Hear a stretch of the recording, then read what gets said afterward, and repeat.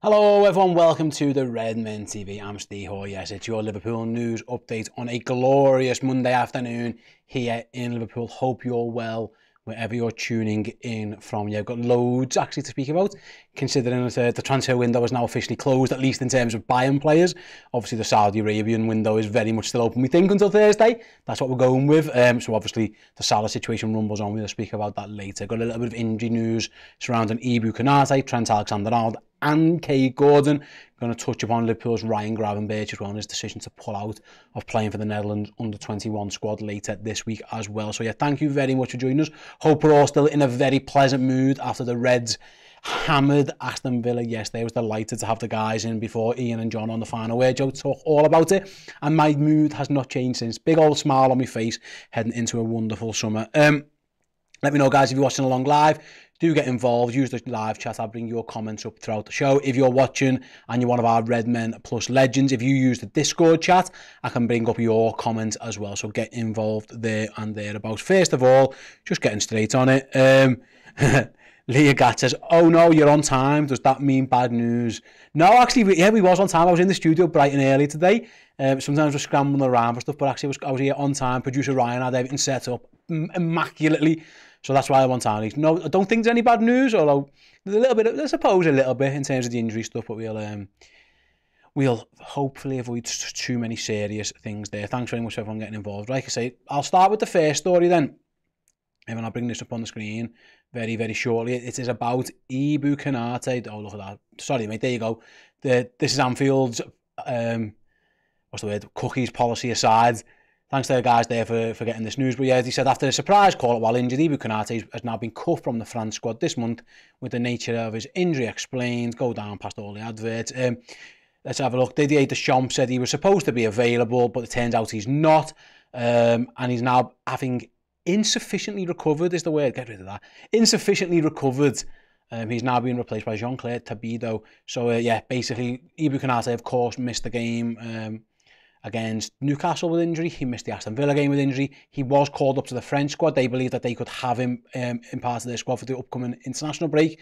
It, he wasn't ready, or he's not, I don't know if that means there's a setback. Maybe they just didn't believe Liverpool. I don't know, but either way, he's now been pulled out of the of the squad. So France play, excuse me, they've got a Euro qualifier against the Republic of Ireland um, and a friendly game against Germany.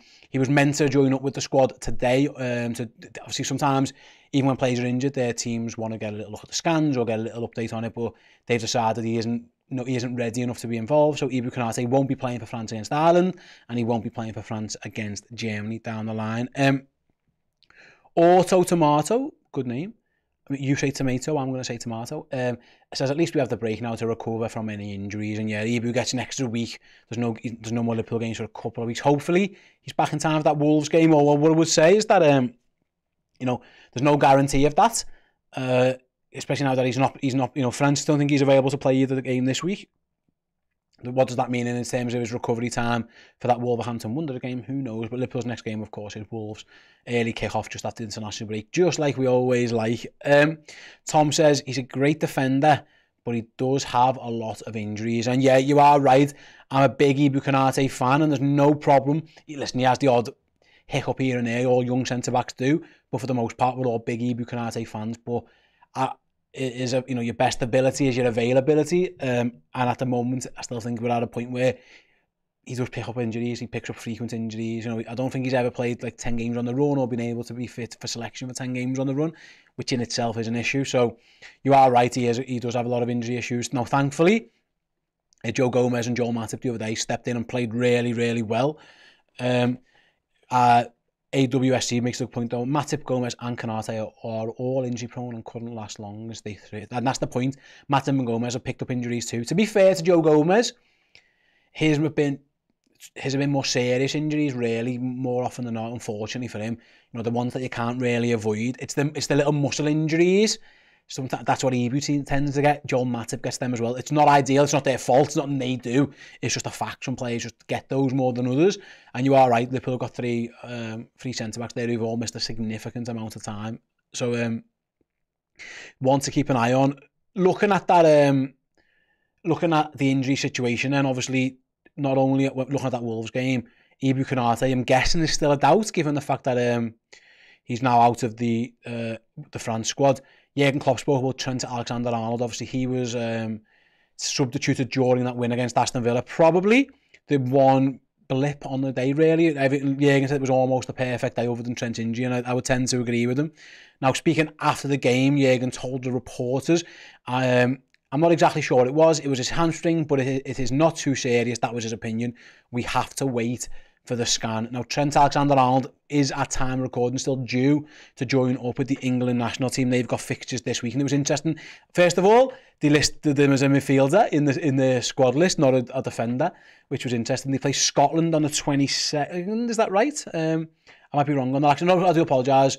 That's the women's team. The, the, they, it's the men's team he's playing for. It's Ukraine, sorry, on the 9th, and then Scotland on the 12th, rather. So he's got five days until that Ukraine game, and then a further what three or four days after that to um, to play Scotland. You've got to you've got to think at this point in time the wise decision would be to take Trent out of those. Now he'll be gutted about that, of course he will, but and I and I know the Ukraine game, of course, is a Euro qualifier. Um, but Liverpool should err on the side of caution. Just going down to the England group really, and I think where is it? Where are they? Where are they? England's doing quite well in the qualifiers, I think, so far. So there's no real mm, I don't know, actually, that it's this stupid Nations League, and I don't even know how that thing works. But the, the, the Europa games, England have played for, won four. You think that, and you, you'd fancy them, like Ukraine are their nearest rivals in that group stage, of course. Was Trent going to play anyway? I don't know. Like it doesn't feel like he's very much first choice for England. He was there, so I don't know. It feels like the wise decision would be for, for England to pull Trent Alexander-Arnold out, or indeed he has to drop out. Um, and time will tell if he's fit for Wolves. Hamstrings, that is a, that is a um, that is a worry. Is he going to be back in two weeks from a from a hamstring? Now, again, it, it just depends what it was. Again, yeah, more will be revealed soon enough, I'm sure, once this scan and stuff's completed. But I think it's worth mentioning that there is a bit of a concern about it. Um, and especially with Van Dijk being um, sorry, Van Dijk's ban potentially being expanded. We don't know where we're up to with that one yet, of course. He was charged after his reaction to his red card. Ibu Kanate still an issue as well. So Liverpool could be going to Wolves away undercooked. It's a long way away and we don't really know that either way. Konate could be fit, Trent could be fit, Van Dijk might not get the ban extended. So all, these are all lots of buts and maybes. But there is a world where Liverpool are without all three of those players and then they've got decisions to make uh, in terms of centre-back. Does Gerald Kwanzaa play with Joe Gomez going to right-back? Did he find someone else who can go and play right back? Obviously, Conor Bradley's injured as well. So there are a couple of questions surrounding that Wolves game. There's plenty of time to get the answers to it, but there is a world where all three of those lads are out. Having loaned Nat Phillips to Celtic as well, Liverpool could be undercooked or underhanded or, or shorter numbers for that Wolves game. But it is just worth mentioning. We're, we're awaiting the details of Trent's scan. But yeah, uh, Daspeed 19 said is Trent injured. Jürgen said he felt his hamstring and that's why they took him off. He didn't think it was too serious, maybe a bit of a precaution which was the wise decision at the time. Liverpool were comfortable in the game at that point, but it is definitely worth keeping an eye on. Like I say, I always worry around hamstrings. I always worry around hamstrings. Um, let's see, Verge got a one game extra. He's missing the wall. I don't any news on the Virgil ban. As far as I'm aware, I don't think there's been anything on that yet. I mean, I, I, I have been I have been keeping an eye on, and no one's told me any different. But he was charged with his reaction um, to obviously is sending off against Newcastle. Now, the, the, the, game, the ban itself was a game.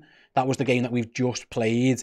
We're still waiting to hear about anything on the on the updates. Just checking now, and nobody's um, reporting any differently. So we're still waiting. He has been charged. We'll see how long that charge takes. But there is a chance his, uh, his ban could be extended. We're still waiting. We don't know. Um, Ireland says, so is he only out for one more game or is he out for three more?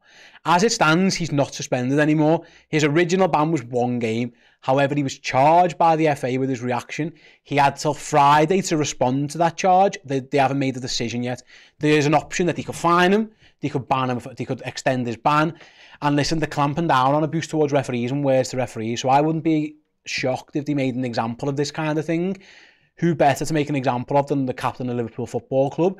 That shows around the league how serious you are about your if, if there's serious on this clampdown of talking to refs and whatever there's an option there. But at time recording there's no um, official word on the Van Dijk thing. Moving on then let's carry on. Um, want to talk about maybe a po- bit of positive injury news. It's been a long old time really since anyone spoke about young Kaide Gordon. Um, you got to remember, it wasn't that long ago that Kaide Gordon was starting a Carabao Cup semi-final for Liverpool against Arsenal. Since then, he's had a torrid 18, 19 months. He hasn't played the first a game for 19 months, but at the weekend, and again, the, the guys over at this Is Anfield have reported he played his first game for 19 months. He was part of it. It was a heavy defeat for Liverpool's under 21s. They got beat 4 1 by Middlesbrough. It didn't go too well for the young Reds, but he did manage to get himself back on. He hasn't been used uh, since February 2022.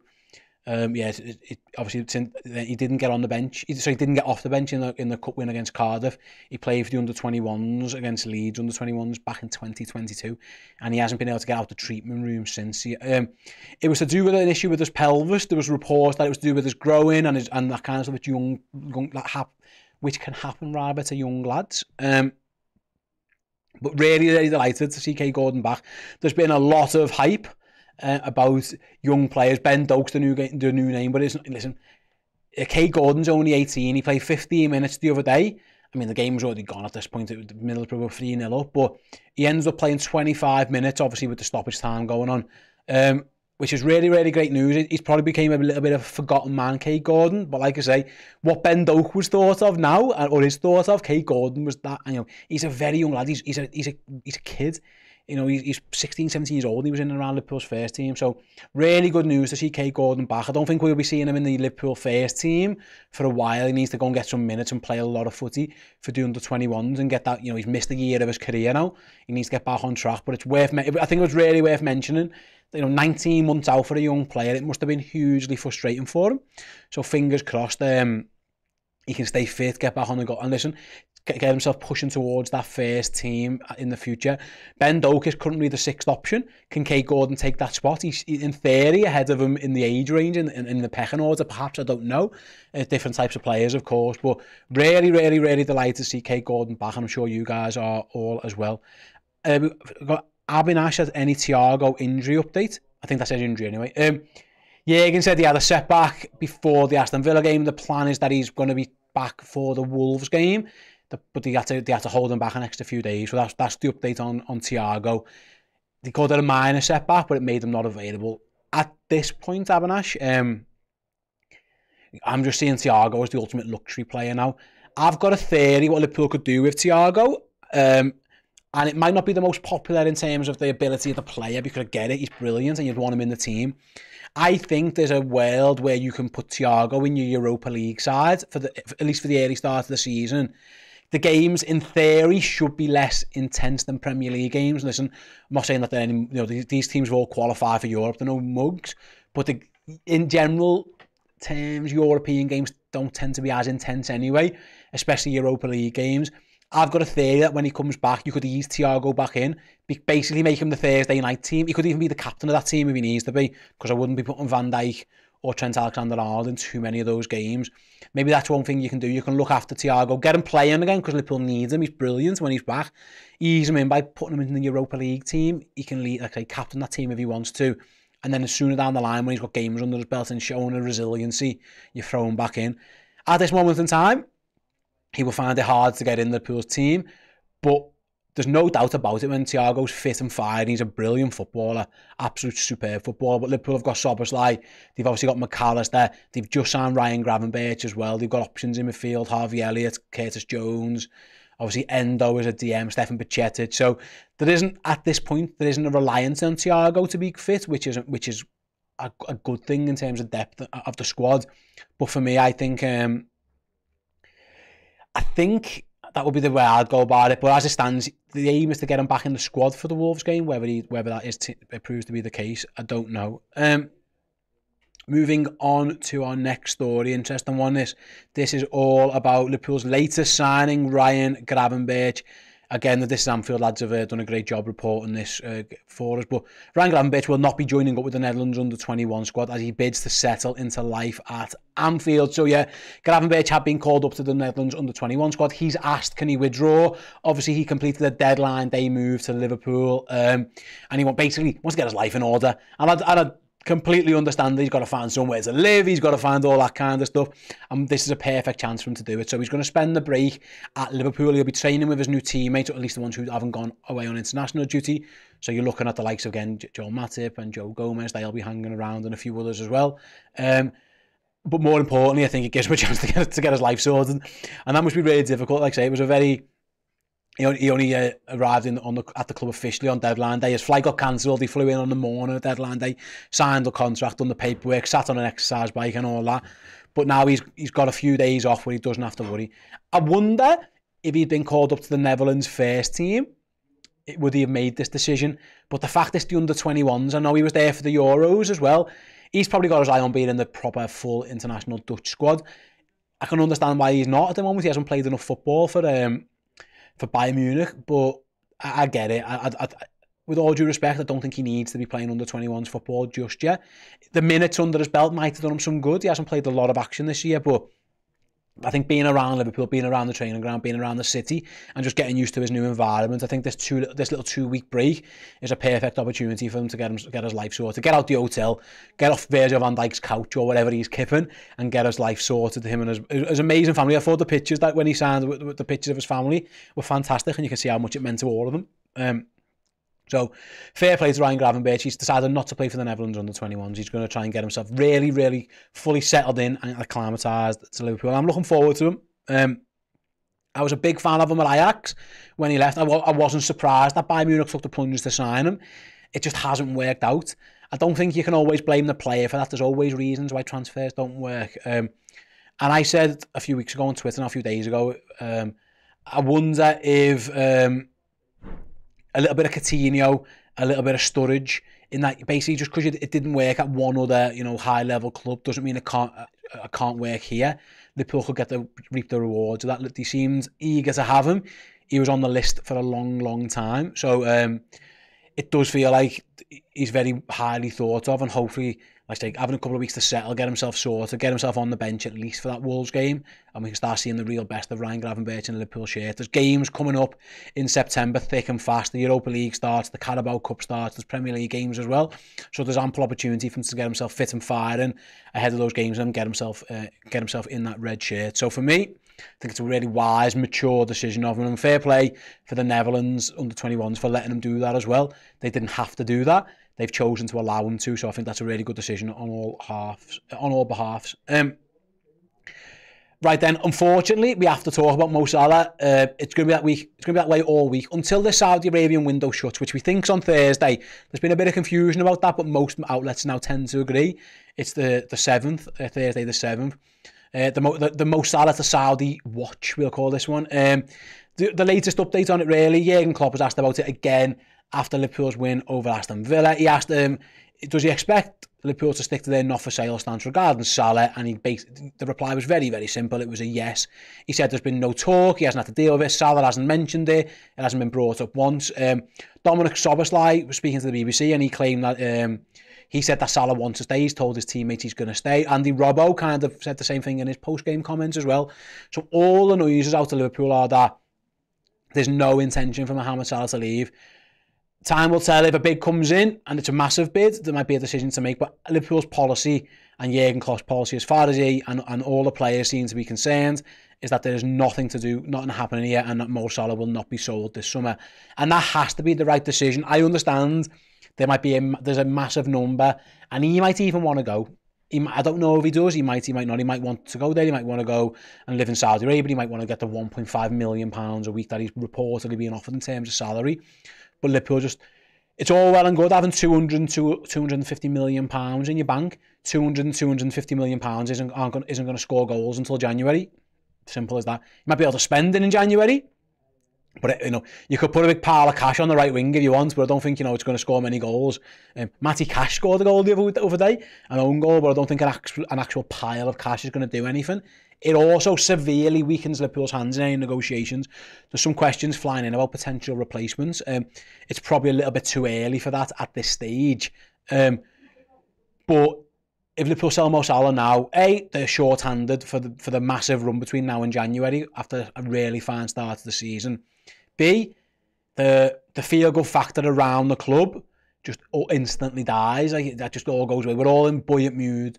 Obviously, the three wins on the spin, the signings that we've made, Liverpool look good again. The kit looks fantastic. They look like a real side again. They just don't want to get themselves in a point where they're there. Um, so, and then thirdly, there's 200 million pounds in your back pocket. Brilliant. Every club you're trying to buy replacements off knows you've got 200 million pounds to spend in your back pocket and you're trying to replace Mo Salah. It makes no sense. There could be a way where you could shake hands now and say, listen, you can go next summer. All parties agree. Jobs are good. And you don't have to announce it. You can you can go down the Naby Keita route and announce it and say, listen, he's coming next year. Or you can just do it under the table, nod and a wink. We know what's happening here. We're all aware of what's going on. We'll, we'll deal with it in a year's time. That feels like the best solution. It just makes no sense for now. And listen, Jurgen's adamant that the club are, are going to keep him. There's no there's no decision to make. Um, and I think it's the right one. So let's have a little look. M says we should sell him anyway. He's going to be missing for AFCON. I mean, AFCON's in January. That's so far away. So yeah, sell him now, and he can't play in the September, October, November, or December games. He misses half the season just because he's going to miss like two games in January. I think that's a, a bit over the top. Um, Stevie Wonder, if we sell him at this point, we're just forfeiting the whole season. What does what good does having 150 million in the bank do? Isn't right now.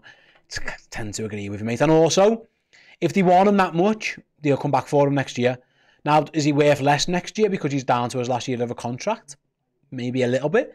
But say you lose 20, 30 million pounds, having Mo Salah for a year is worth more than the 20, 20, 30 million pounds you're going to get. So it's, it's an absolute no-brainer for me.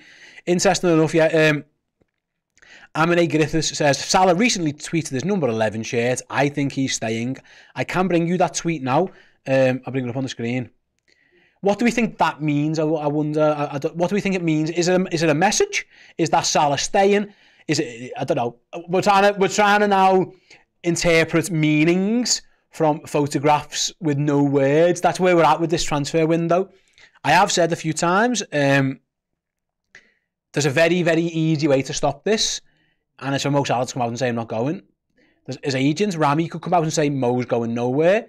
Because as as adamant as Liverpool are that they're not selling him, if it came from that parties, those parties as well, this would all die. Now, listen, I'm not saying they're enjoying the drama or they're enjoying the fuss, but it must be nice to be linked with all these teams, to be the main man.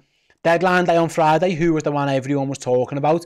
It was Mo Salah, a deal that wasn't happening, that was being rejected. Players were making moves, players were signing. Liverpool signed a player. Man United's goalkeeper, I think, the new goalkeeper arrived on the same day and all anyone was talking about was Mohamed Salah, and that must be quite nice, you know, from an Eagle point of view. But there's a dead easy way to stop this. I don't think a, a cryptic picture of Mohamed Salah in the Liverpool shirt is his way of saying I'm staying. I don't, I don't know, I don't believe that would be the case at all. Um, but that, that's how you could end this if they really wanted to. Whether they want to or not, I don't know. Does he want to leave? I don't know. No ideas. We're, we're all a little bit in the dark of it. But Liverpool's stance remains the same. Jürgen said it again. He's not for sale. I saw Richard Keys tweeting that he think that you know he's been told via source in the Middle East that's going to be Salah's last game would be Villa. I, I, I can't even imagine. I can't even imagine. So I'm I'm not to um. I'm even. I'm going to presume at this point in time that Liverpool are going to be true to their word and they're not going to sell him. Um, Islam says, why not sell him for 200 and go for Bowen or Kvaratskhelia? Well, if the, the transfer window shut, mate, that's the answer to that one. That's, that is the answer. Liverpool literally couldn't sign either of those players. If you want to have this discussion, like they did with Coutinho, where they agreed to sell Philly Coutinho early in the January window, but maybe that's an option to get to. But now it's just bollocks, basically. There's just no way it can happen. You can't replace him. And he's he might be irreplaceable anyway. He's literally irreplaceable now because you can't buy no one. Um, so that's where we're at with that one. We've had I had a super chat there from MDSO, but it looks like it's been retracted, so I can't bring that one up at the moment in time. We should just sell him and buy Bukayo, Saka or Mbappe. Wow, who's name? Yeah, footy would be that. If only, if only, if only football was that simple, mate. I mean, Kvaratskhelia, yeah. Saka, yeah. Mbappe, yeah. I'm not having Jarrod Bowen as being Mohamed Salah's replacement, by the way. Um, not for me. Now, the only thing with Kvaratskhelia, I think he's a really good player doesn't really score enough goals. He is a very good winger, and you can change your team around. But Salah is a goal machine. 10 consecutive games now in the Premier League with a goal contribution. Bagged one the other day. Should have had an assist as well if, um, if Darwin Núñez hasn't cocked that one up. Um, so it's, it's going to be hard whoever Liverpool buy. I've seen someone here mentioning um, Rafa Leao. There's good players. There's really good players, um, but they're not Mo Salah.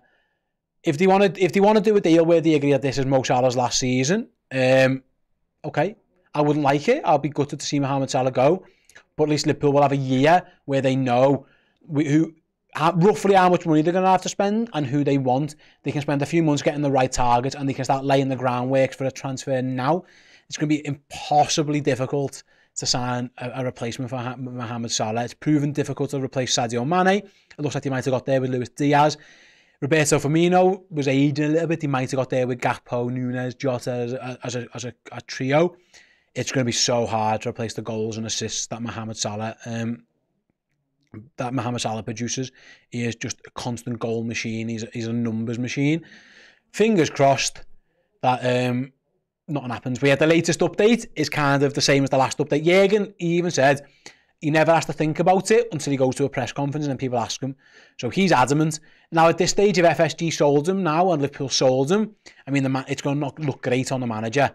If Mo Salah comes out um, and says he wants to go, that's a different kettle of fish and we, Liverpool would have to react to it. Philippe Coutinho did the same and he didn't sell him.